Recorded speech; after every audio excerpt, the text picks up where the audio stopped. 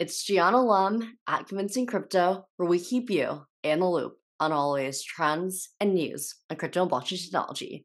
Today, we have a very special guest on our show. We've got Steven Ward, the CEO of VyFi. If you want to wave to the camera, you can, Steve. Hi, I just unblurred my background because I don't. I prefer the brick to the blur. we both got brick in the background. exactly.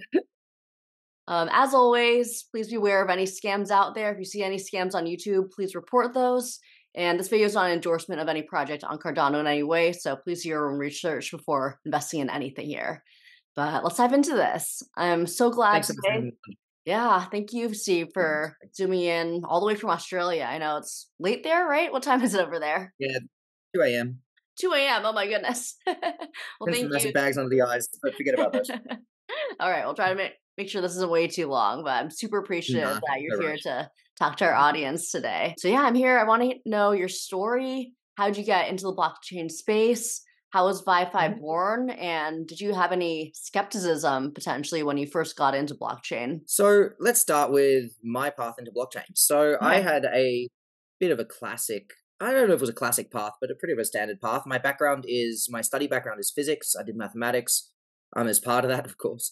Uh, from there, I moved into quantitative analytics within the trading space. So I worked at a hedge fund, I worked at a stock brokerage, and I worked within a bank. So I kind of did the rounds over seven years within the financial sector. Um, little piece of advice: always move upwards and onwards. Never stay at one place. You'll always get paid more if you move. Um, now after uh, those years within the financial sector, I kind of started trading crypto in 2016, uh, maybe late 2015. I did the whole boom and bust in the 2017 um, cycle. hmm From there, I started engaging with DeFi sort of very early on, um, sort of late 2018, uh, early 2019 when Uniswap was first released, and they were also doing some early DeFi on Tron. Um, within that, I realized so my background as a trader is within bonds, Okay. and the specialty that I had was interest rate swaps specifically. And the setup of an interest rate swap is really simple. It's just I swap my currency for another currency so I can access a higher interest rate. So the setup is essentially one currency, a second currency, and then I swap them for an interest rate. Now, when you have a liquidity pool in DeFi, you basically have one currency and another currency, and then you swap half of the one currency for the other one in return for an interest rate. hmm So basically, the mathematical setup of liquidity pool and liquidity mining is the exact same mathematical setup as interest rate swaps. Well, not exactly the same, but like, you know, that far apart. Yeah. so um I came to it like a duck to water, really. Like I really came naturally to me. And from working within the DeFi space, I sort of made that my full-time job was just trading in DeFi. Mhm. And from there, I started seeing a few things that I wanted to change or adjust or improve within the DEX space. So I came up with my own concept for a DEX on Cardano. Uh, that's VyFi, and I released it with my team. It's definitely not a solo effort. We've got a lot of people working in the background to make it real. And how did you find your team in all of this? How did you did you meet them in person? Did you just find them on different in conferences or chat boards or everyone always has a story of how they met the people and how they found trust in those people that they work with. Yeah, look, it's a bit of a, it's a bit of a, it's a bit of a mix, right? It's a little bit. It started as a bit of a family task, like a family endeavor. Huh. So I came up with the idea. I got my actually it wasn't initially initially family, but I came up with the idea. I got a colleague of mine at my work at the time, uh, pretty sold on it. So he left work with me to pursue this. Um, from there, I found my next investor, who then became an employee with us, uh, was an old friend of mine who had just left his job working in stocks and had a little bit of money and was like, I don't know what to do now with my life. And I'm like, well, look, I got something you can do. um, and from there, we basically, I brought in my stepbrother, um, and my my stepbrother as a business manager, and my stepfather as an accountant, as he is an accountant by trade. And then from there, it became that was the Australian side pretty much all covered. And then from there, I went searching internationally for the skills that I needed. Right. So um, from there, we found developers in America, South America, um, Cro- not Croatia, Bosnia Herzegovina. God, get that right. Um, and from across uh, from across Europe as well. And these sort of all came through, yeah, as you listed a few of them, you know, conferences, through meeting people within the space and engaging with communities. You get to know people, their skills, and what they're interested in doing. Um, and then as you develop your knowledge of the people in the space, you can sort of start to work with those people and lean on them to bring them on board. Now, at the moment, we have a team of 11. Mm-hmm. Um, and that, yeah, so that's 11 full time. So, you know, that's not, that's still a small business, but it's definitely, we're doing stuff. Definitely, definitely. So I want to know, can you just explain what is VyFi? How does it work? What are its use cases? I like to describe VyFi as a uniquely Cardano DEX. Mm-hmm. Uh, in that we've taken the Cardano blockchain technology and implemented it in such a way that we can perform functions that can't really be performed on any other blockchain. And um, there's a few examples of this. So one of the first big differences between us and other dexes is that we've got an inbuilt distributive mechanism. This is called our bar. So how this works is it basically collects the fees from all the transactions that take place on our DEX, and it automatically uses those fees to buy back VyFi from the market. So this distributive mechanism is built into the smart contract of every swap on our DEX, um, and is certainly something that is very unique uh, to us within the Cardano space. Um, users can engage with it very easily just by going to our DEX and depositing VyFi into the bar, and they'll be automatically distributed a portion of all the fees that are generated. Um, the next big one that we have is stakeless LP farming. So the general process that a user goes through when providing liquidity to a DEX is normally a three-step process, and this design is really, uh, I would say, a legacy from an account-based blockchain, right? Where users supply liquidity. They res- sorry, first you have a token, let's say Cardano. You swap half of that Cardano out for another token, so now you have two tokens. You then match those two tokens. That's one transaction. Mm-hmm. You match those two tokens to create an LP token. That's two transactions. You receive the LP token, you deposit that LP token into a farm. That's three transactions, almost put up four. So when um, when we're dealing with this process, that's a three transaction process. But with the E2, um, EUTXO model, you know, the Cardano blockchain, we can very easily implement stateless LP farming. So that means that your mm. LPs don't actually need to provide, don't actually need to go anywhere to earn the farm. So yeah. as a result of this, we're able to essentially allow users to provide liquidity if they've already got both tokens Instead of a two step process, it's a one step process because you supply both tokens, the LP hits your wallet, and you instantly start farming. The next advantage this provides for the user, of course, is that all of your tokens, oh, sorry, all of your farms are going to be harvested simultaneously by default. So there's no mucking around and harvesting 13 different farms, it's all going through at once. The next one, this is what I'm most excited for, is that this system actually unlocks the liquidity that's held within those LP tokens. Hmm. Because those LP tokens at the moment are thought of as almost throwaway tokens, right? Like I get them in my wallet and then I put them straight into a farm and then I forget about them and I'm just yeah, harvesting this farm. they're just sitting there, exactly, right? But those LP tokens, if you think of them from a traditional finance perspective and even just from a you know logical perspective, they're representative of real underlying assets, the two tokens mm-hmm. that they're mm-hmm. made up of. Now, those underlying assets, when they're merged into an LP, actually make that LP a derivative of the underlying tokens.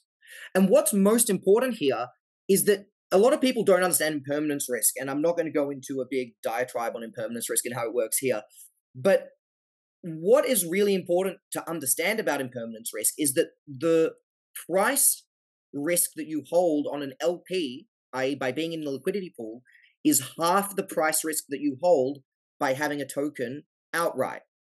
And we can think about this really like conceptually from a portfolio perspective. It's very simple.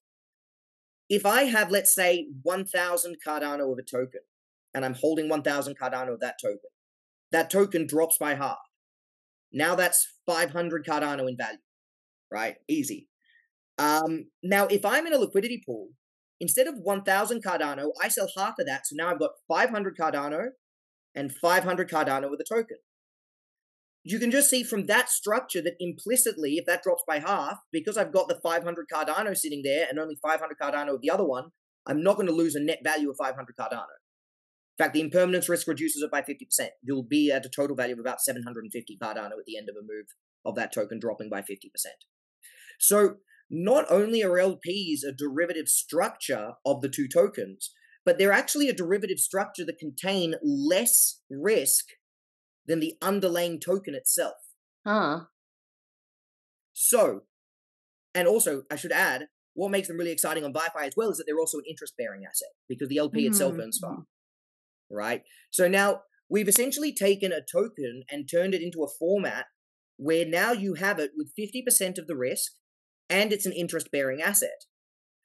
This token is no longer just sitting there and useless to you. We can start designing processes where we can implement this token to utilize that value. So, an example that we've utilized in our own DEX is L2LPs or layer 2 liquidity pools. So, that's where users are able to add their layer 1 liquidity or their LPs into a liquidity pool itself. So, by putting those LPs into a liquidity pool itself, they've now readjusted their portfolio structure again. You started with 50 50 from the LP, but now you've added 50% in Cardano again. So your risk structure is now 25% underlying token, 75% Cardano, which means you've only got half of the price risk again. And this can be um, sort of akin to what we have in the Ethereum ecosystem, or I believe um, I believe they do multi-chain on Balancer actually, but this is very similar to a Balancer 80-20 pool. So Balancer have 80-20 pools, which is 20% one token, 80% another token, and the risk ratio is is accordingly 20-80, right? Our L2LPs are 75-25, right? So the risk ratio is 75-25, very similar to a Balancer 80-20 pool. And this again is a very unique one product in Cardano, but also a very unique process to achieve this product right? We are, we're not achieving this product by creating a pool that you supply tokens to, but we're achieving this risk ratio by actually implementing your existing assets in a way that we can boost the value each step of the way. In other words, if you engage with an L2LP, we can give you more farm than if you've just got an L1LP. Right? So now we've been able to boost the value while reducing the risk. So these are all really unique structures that we're able to build purely because of Cardano's technology right? Which is why I call ourselves a very uniquely Cardano Dex. Sorry, I had went on a long talk. yeah, yeah. I think when um, people are choosing a dex too, they're just wondering like, okay, like why, why this one? What makes it unique to like what I need? And if they're they are a Cardano user, that makes a lot more sense if they want like less losses, less risks mm-hmm. there. That's it. It reduces. We've got tools that allow you to reduce your risk and reduce your loss. And it allows you to create more bespoke risk profiles based on tokens that you want to invest Um, I do have another question for you. I ask this every single time to basically every founder of a project. I want to know what is the first word that you want people to think when they think VyFi and why? Just one word. Um, probably innovation. Innovation. And the reason being is because we're continuously trying to implement the Cardano blockchain and the technology that we're working on in new and exciting ways to build new products. Nice, nice. Yeah, and it's an ever changing landscape. Mm-hmm. Exactly. Um, and actually, just very quickly within mm-hmm. that vein, we've got a new product that we're launching very soon, uh, which again is something that we could only build because of Cardano. It's called the Transaction Cart, and it works very similarly to a Amazon shopping cart, but okay. for transactions on our DEX, right? So at the moment, when you're running transactions on DEXs, there's always a backlog in that you can only spend one UTXO on a wallet per at a time. So that means that if I conduct a transaction and then I'm trying to do another transaction with t- tokens in the same UTXO, the transaction is going to fail until the UTXO goes through or the last transaction goes through. And I'm sure we've all had this experience on Cardano. Mm-hmm. Um, so what we've built is essentially a transaction card that allows you to stack multiple transactions in one go on our DEX so that you can run them all simultaneously. And this means that you can perform transactions such as, let's say, remove liquidity from 10 pools, swap out 10 tokens, and then um, re add liquidity to 10 different uh, pools. And you could run all of these, all those 30 transactions in just three. Because you nice. could run all of those 10 add liquidities, all of those 10 remove liquidities, all of those 10 swaps all at once in one single go. All through that one um, card, essentially. Exactly, all through that one shopping cart. So this is something that we're super excited for, and we're hoping will be launched by the end of next week, maybe early Wow. week after. So this is coming out very soon, and we're really excited for people to start playing around with it. Congrats, congrats. It's coming up. Thanks. I want Yeah. to know a little bit more um, about your VyFi token. Mhm. What are its use cases? Uh, what are the benefits for people who have that token? So at the moment, we have a well, a few use cases. I mean, you've always got the classic governance. hmm Um, then we have our bar. So our bar is the distributive mechanism, and users are able to engage with the distributive mechanism um, by depositing their VyFi at the bar, and then they'll be able to earn a proportion of the fees that are generated by the platform. Then we have our uh, liquidity pools, of course, farming across our entire DEX and across pretty much every dex on Cardano. I'm pretty sure there's a farm for VyFi, except for maybe Teddy Swap and Spectrum. Um, then we've also got some cross-chain capabilities. So we've got a few farms on Milkomeda. And of course, uh, you can use us to buy. Well, we work with a lot of launching projects, particularly NFT projects. Hmm. Uh, so most recently, you were able to you're able to use us to buy a uh, what are they called? Diamond hooves. Uh, you're able to use us to buy their NFTs. We have a lottery that's implemented that you can partake in. So you can also use uh, VyFi to buy lottery tickets. Um, and I should say the one that I'm really excited for, and this is probably a whole nother conversation in itself. Uh, we're launching a new product um, called T minus one, and that's a launch pad that's coming out in the beginning of April. Um, we've already announced Zengate Global as the first partner that we were launching with, and they're launching their Palm token through T minus one, yeah, with in April.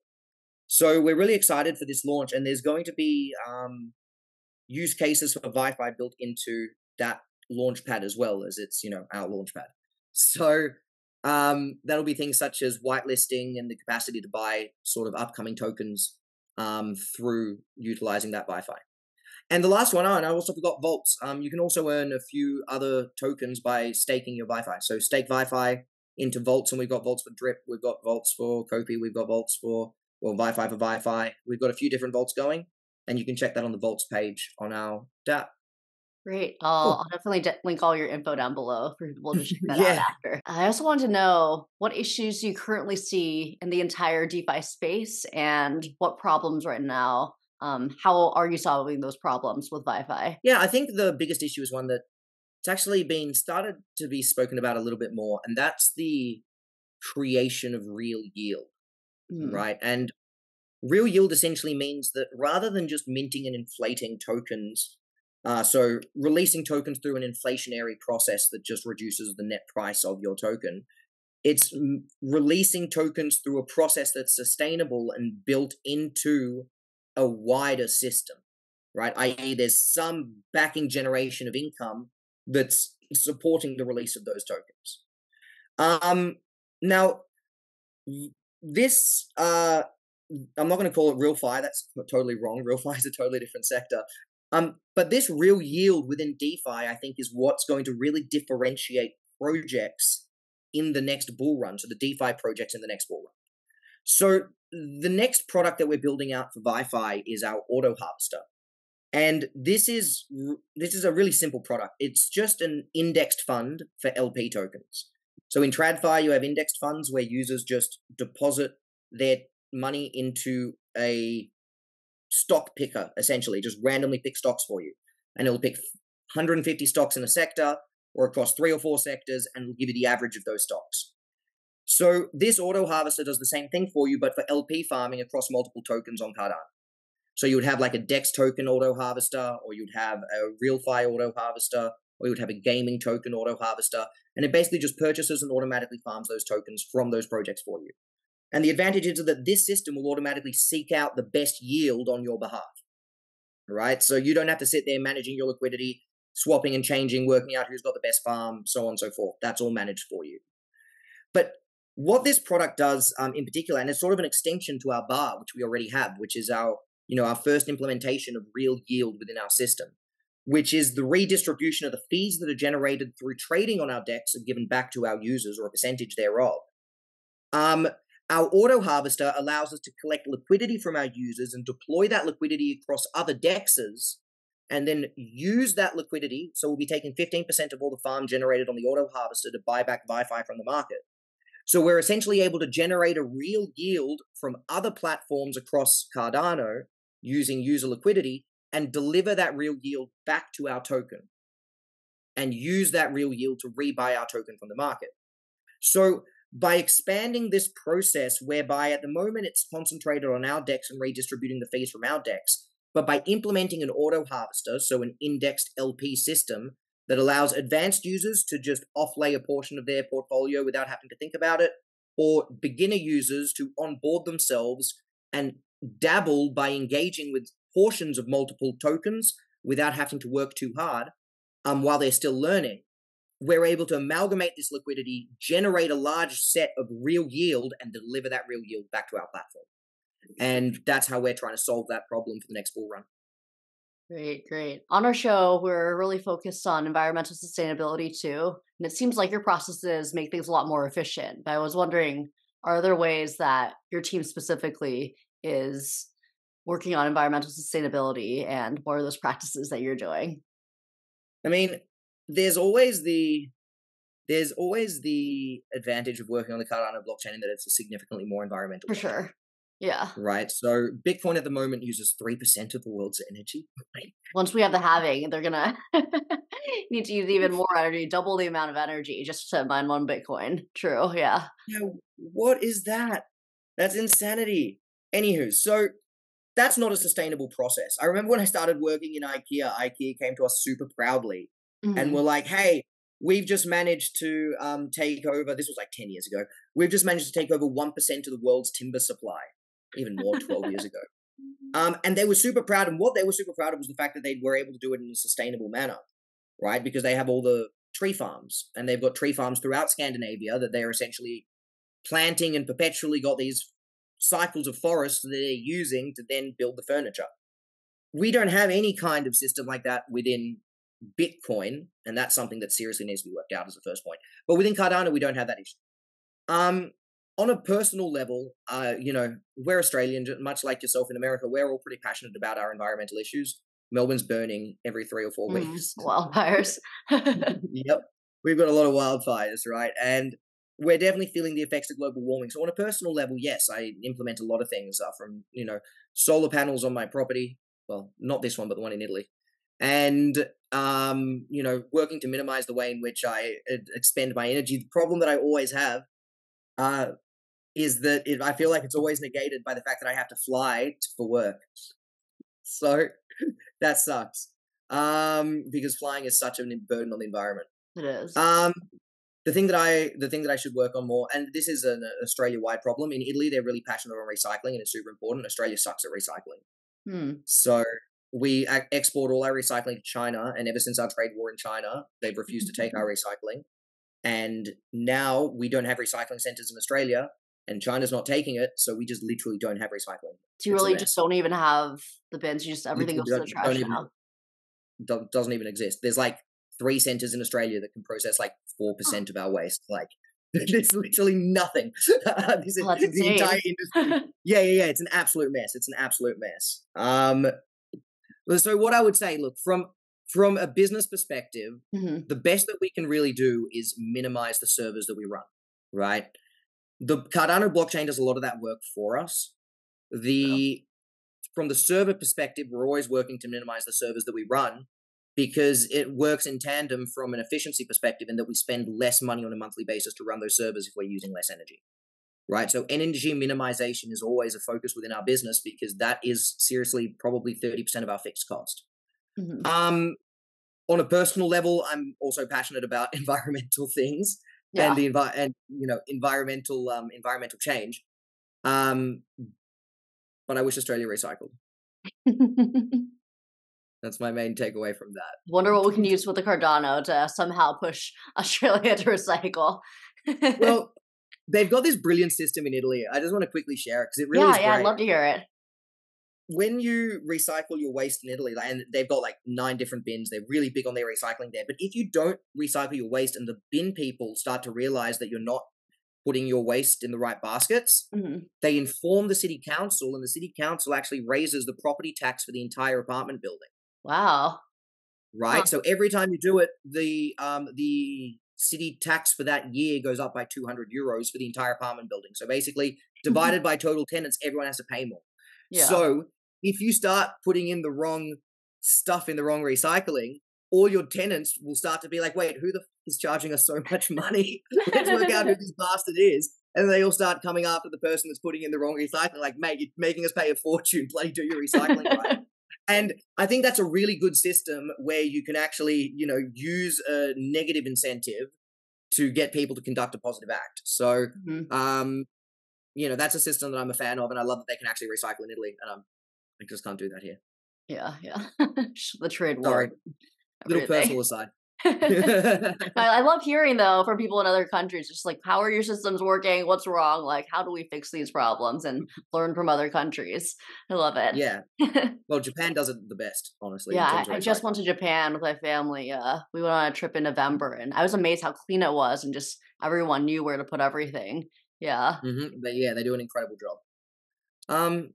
So yeah, Um, sorry, I'm I'm a little bit passionate about recycling. It's sort of the area that I'm most interested in in environmentalism, particularly the the bit that Japan sucks at is you know plastics. You know that entire um garbage patch in the northern Pacific, and mhm. like I've never seen. I've never been to a 7-Eleven where you can buy like one sandwich and it's like plastic, undo the plastic, and then there's plastic, and then you undo the plastic, and then there's a plastic container for the sandwich, and it's still wrapped in another thing of plastic. And you're just like, like, why is this like Jenga to remove my sandwich? And then they don't have trash cans anywhere, so you have to walk around with all your plastic to throw away the plastic. yeah, it's so weird.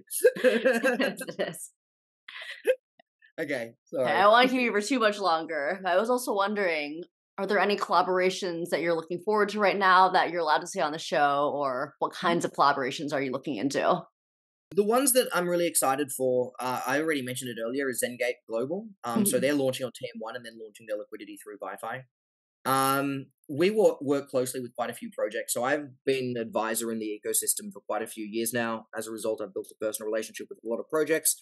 A few of those projects are launching through T minus one and then launching their liquidity on VyFi sort of through April, May, and June. Uh, but I can't announce them yet, but I'm really excited for them. Um, they're certainly larger projects. Uh, one in particular is a very large project that I'm very excited for. Um, from a liquidity perspective, so in the last month, we've launched Mayhem uh, token, which is, uh, I don't want to pretend to know what all these tokens do. We've got like 150 tokens on our DEX.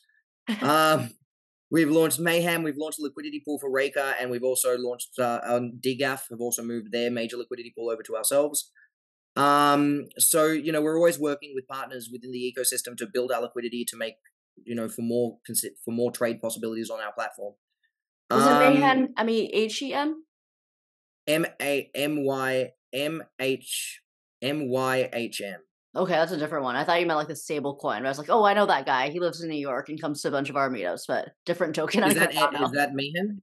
That's May- Mayhem, yeah, the, the stable Yeah, coin. Mayhem. Is that is that Matt? Yeah, that's Matt. That's Matt. Yeah. Yeah, yeah, yeah, Matt's a legend. I've done a I've done quite a bit of work with Matt. Say hello to him for me next time. Okay, well, yeah, I'll probably be at the NFT NYC stuff. Um, do you want to add Mhm. anything else? Were you ever thinking of other blockchains when you first started off, or were you always like, for Well- sure, we're gonna start and launch on Cardano? Oh god, I hate saying this on a video. I was never like a Cardano hardcore, right? Like Mhm. I'm not a blockchain hardcore. Yeah. I'm not a maximalist by any sense. Um, I believe that all the blockchains work better when we work together because they've all got different strengths and weaknesses. What I really saw back when I was designing my project, um, back in the early days, you know, three and a half, four years ago, was jumping into the Ethereum ecosystem in 2020, sort of mid 2020 into 2021, hmm was a super duper, uh, what's the word? Saturated market, right? Yeah. Like there was so many people there. Uh, there was a new dex coming up every three weeks. There was a new auto harvester coming up every two weeks. Thirty percent, like eighty percent of them were rug pulls. Like it was a mess. Um, and BNB chain wasn't offering you much better. I mean, the casino Uh-huh. chain definitely wasn't better than Ethereum. So, and they were the two major options to launch on, right? So we realized that it might have been easy to make quick money on those chains, but in terms of actual differentiation of product and capacity to make a difference with the product that we're building, Mhm. um, we thought that Cardano really is what stood out in terms of giving us that opportunity to show what we're trying to make. And you know, we've been in the ecosystem for so long now. We were one of the first DEXs to ever announce. I mean, if you go back to the first ever ecosystem map produced, um, we're on it. You know, we're one of the 11 projects on the first ever ecosystem map that was made. Um, and of those 11 projects, I think only four of them are left. Wow. So it's it's been a real war of attrition, I'll tell you what. Um, but we're here and we're going to continue innovating on Cardano. And you know, that's what makes me most excited is for Cardano. It's the fact that this blockchain allows us to build things really differently and actually like visualize these products in, diff- in a way that hasn't been visualized before. And in so doing, we create a much easier process to onboard users because the system's easier to use. Mm-hmm. Right. And the easier the system, the easier it is to get users. You know, it's not a hard equation. Yeah. so Cardano gives us that power. So through working in Cardano, I've become more and more passionate as I've spent years in this space, learning more about how this technology works and building on it. So, whilst I'm not a maximalist, now I would say I'm definitely a Cardano first. That's great. You really thought about the longevity of your project too. And if you really wanted a strong infrastructure, if you really wanted a strong community, I think Cardano is the way to go mm-hmm. for that. Definitely. And actually, to to follow on on that, um, we've got the slowest emissions rate of any DEX mm any blockchain, mm-hmm. right? Because my entire we've got 52 years worth of emissions. Yeah. Right. So basically, our farming will never end. At least I'll be dead before it ends. um. So I mean, the and the reason exactly to what you said. The reason we did that is because I don't see I see the approach that a lot of liquidity providers are taking at the moment a very short-sighted approach. They're mm-hmm. looking at it in terms of how can I get liquidity over the next two years? Yeah. Right. Finish my farm in four years, and then I mean, I guess that's the end of the project because the only reason people take on impermanent risk, unless you're Uniswap, which most people aren't, um, the only reason people take on impermanent risk is for farm. So we decided to sort of subvert that and go, well, let's take a longevous approach. You know, let's look at this from what's our farm going to look like in 20 years' time? Right. And will we still be able to maintain a system then? Hmm. Because we don't see the point of just building out a system that's going to work over the next four years. We're not just here for the next bull run to make money and leave. I'm here for a career. Yeah. You know, I've turned this into my career. I want to work here as my career. I'd like to retire still working in the crypto space. I don't want to turn around, make money, and run, basically. that's good. That's good. So I want to know, I think after watching this, probably a lot of people want to get involved. So how can people support the project? How can they learn more? How can they get involved? What are the best ways? Yeah, absolutely. Uh, jump into our Discord, Telegram. Okay. Uh, of course, follow us on Twitter, X, whatever it is now. um, that bad boy. Say hello to Elon Musk for me on the way, and you know, ask any questions you have. We're around to answer them.